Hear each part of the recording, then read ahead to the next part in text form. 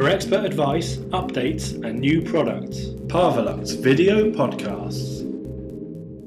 I'm Martin Mathias, I'm the Technical Director at Parvalux Electric Motors. Just want to tell you a few things about sound and noise, that, the way we measure them here. This is um, some, some kit that, that we use that actually gives you uh, a sound spectrum, not just a, a, a dB level, and allows you to very quickly find out if the noise is a happy noise or an unhappy noise. So normal dB levels will just give you a level. This will actually tell you the type of noise, whether it would be happy children or, or noisy unhappy children. Some noises which are nice to some customers are unpleasant to others. For example, brushless motors sound totally different to uh, brush motors.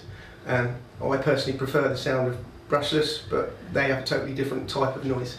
Nowadays, customers are very more demanding of, of what the sound levels need to be, and this actually lets you it down very early in specification to get uh, uh, uh, so everybody knows what they're signing up for at the beginning.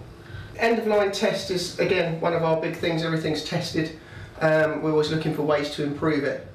Uh, other areas where we're using this this type of kit is uh, end of line testing, um, where you can automate the end of line test and make it more realistic, and also you can uh, run things like load profiles very easily.